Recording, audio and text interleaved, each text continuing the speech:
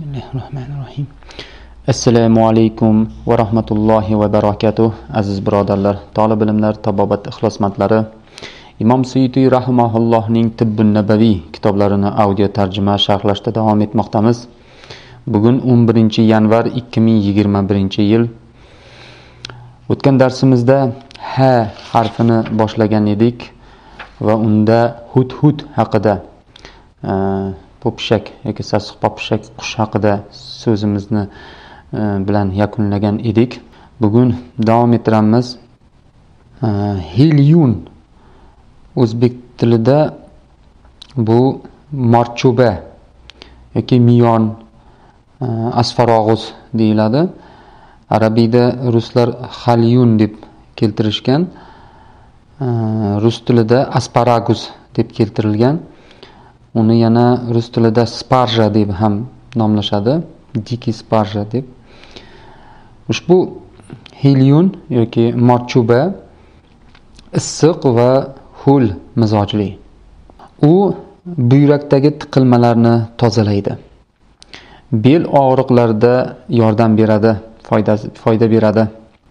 Urug'ning hosil bo'lishini ta'minlaydi sababchi bo'ladi va ayollarning ishini yengil qiladi degan ekanlar. Aytishadiki agar bir it ushbu mahsulotni yesa tarkibida mana shu asfarog'us bo'lgan mahsulotni yesa u uni o'ldiradi. Ya'ni itni bu mahsulot o'ldirar ekan. Bu Э, aytishadiki deb muallif keltirayotganiga agar izoh bersak juda э, kuchli э, demak mm, bir tomondan zaharli bo'lishi mumkin bo'lgan narsa ekan. Buni miqdorini bilib turib me'yorda qabul qilish lozim ekanligini bildiradi. Vallohu alam. Ushbu morchuba demak agar to'g'ri dozirovkada dozada qabul qilinsa buyraklarni tozalab bellarni og'riqlarini ketkazishda urug'ning ko'payishida yordam berar ekan. Navbatdagi mahsulot bu halilaj. Arabiyda rus tilida mirabalan deb keltirilgan e, o'zbek tilida bu halila. Rus tilida mirabalan deb keltirilgan bu mirabalani desak ko'plikda aslida bunga e, rus tilida umumiy nom berilgan halila bu uning bir turi. E, chunki misol uchun rus tilida emblichskiy mirabalani deydi. Bunda e, omila nazarda tutilgan bo'ladi. Ballirichskiy mirabalani bunda o'sha balila nazarda tutilgan bo'ladi. Bu yerda mirabalan degan bilan aynan halila nazarda tutilgan. Ushbu mahsulotning uchta navi bor. Sariq afg'oniston halilasi va hindiston halilasi. Boshqa turlari ularning shu uchtaning e, navlari shularning bir turiga kiritiladi deganlar muallif. Halila mizoji sovuq va quruq. Agar uni damlama qaynatmalar shaklida qabul qilinsa sariq halila safroni haydaydi haydashini ta'minlaydi.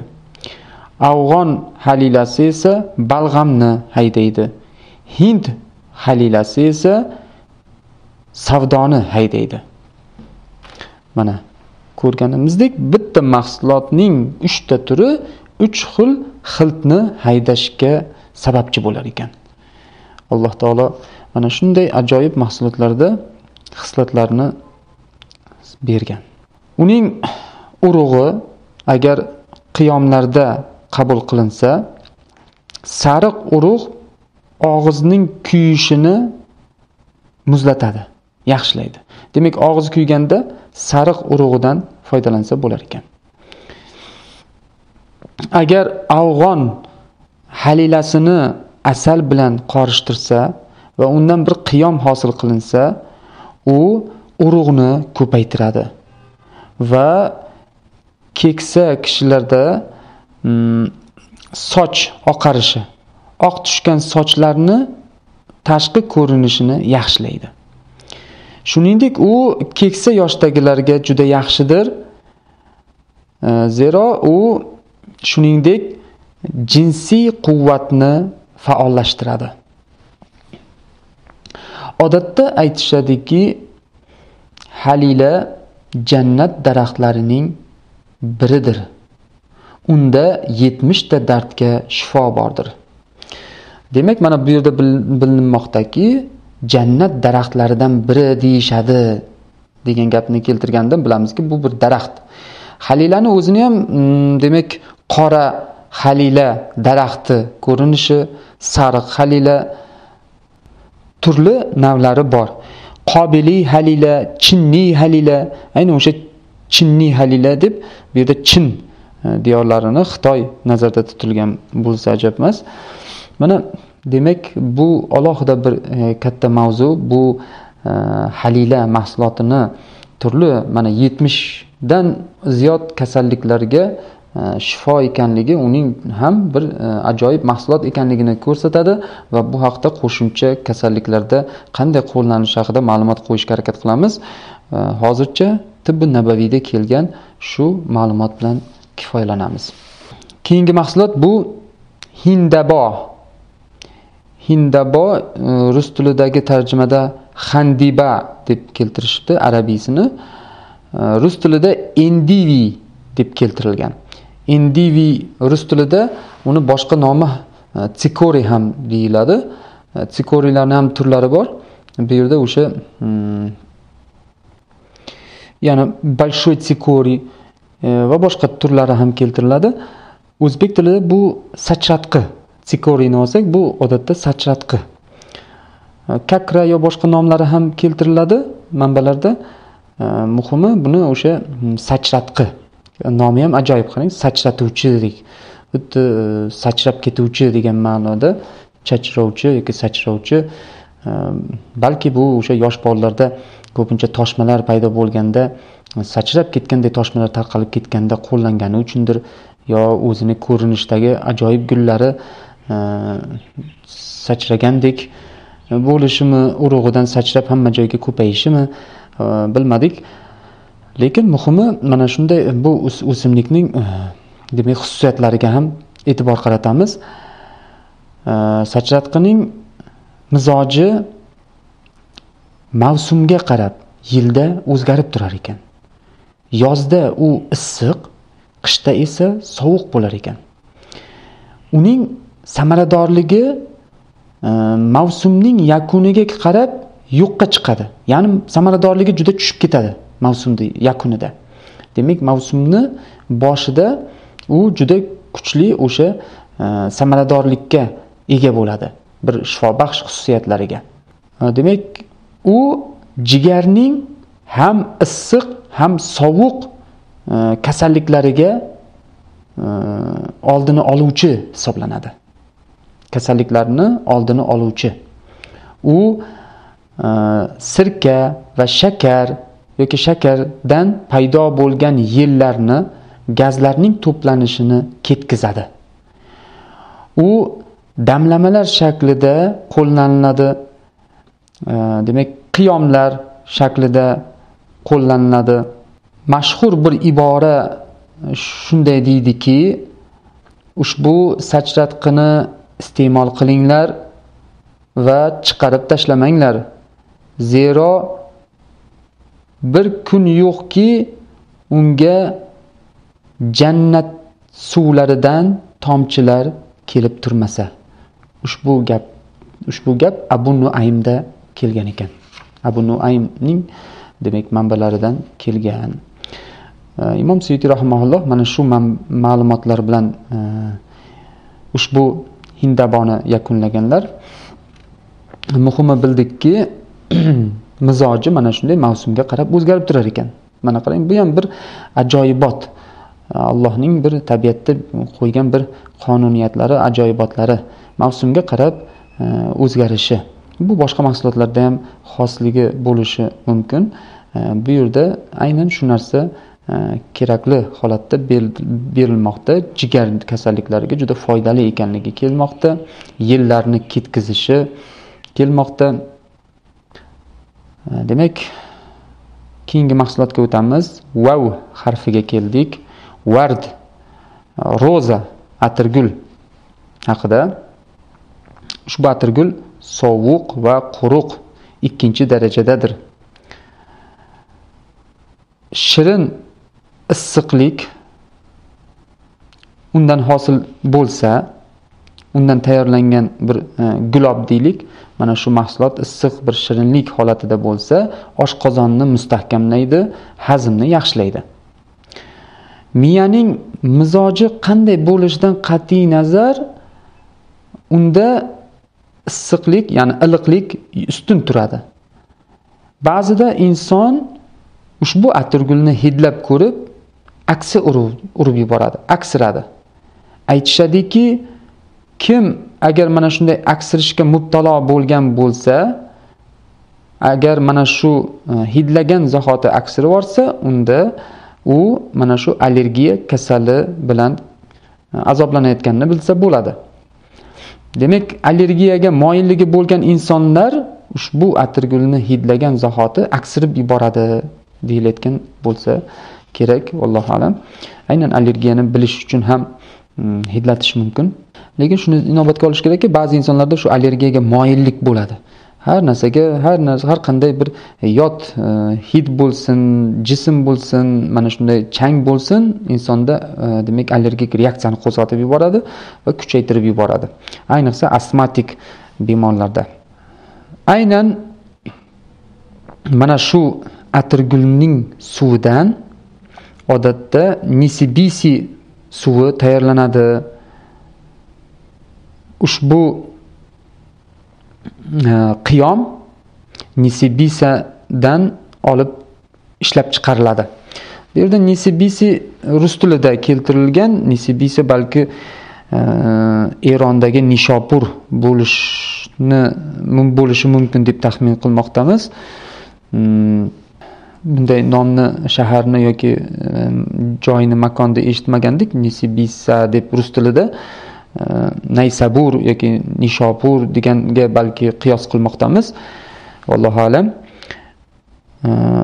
Atirgulning qizil ajoyib go'zal ko'rinishiga kelsak u bir vaqtning o'zida aynan qizil atirgul bujmaytiruvchi burishtiruvchi vositadir. Ushbu navidan odatda gulob tayyorlanadi. Ottodan kelgan gulob. Demak bu yerda ham otto bu ham makonning joyning nomidir. Bu joyni nomini aniq e, bilmasam kerak. Ikkita t bilan otto e, germaniyada shunaqa joy bor edi. Yaponiyada ham bo'lishi mumkin. Muhimi shunday bir e, shu bir e, qaysi bir joyning e, demak gulobi qiyomi olinar ekan. Odatda e, mana shu atirgul qiyomi oq atirguldan qilinadi. U burishtiruvchi va bo'shatuvchi ya'ni e, ichni keltiruvchi xususiyatga ega bo'shashtiruvchi. Unda mu, mutanosib ravishda teng balanslangan mo'tadillashgandir ya'ni bu e, qiyom o'rtacha darajada ham ichni suruvchi hamda e, shu shilliq qavatlarni burishtiruvchi xususiyatga ega ekan.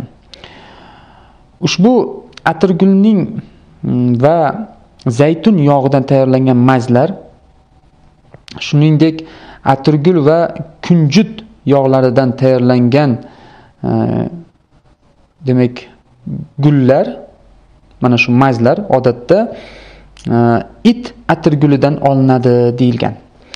Собачья roza degan endi bu shunday nomlanishi bir navi ekan it atirgul degandek ajib ularning birinchisi a'zolarni mustahkamlaydi. Ya'ni ushbu atirgul va zaytun yog'i aralashgani ichki a'zolarni mustahkamlaydi ikkinchisi esa ya'ni biz aytdik kunjut yog'i bilan ushbu atirguldan tayyorlangan mahsulot e, og'riqlarni yengillashtiradi. Bu mana shu narsalarni bilishning o'zi kifoya qiladi deydi muallif.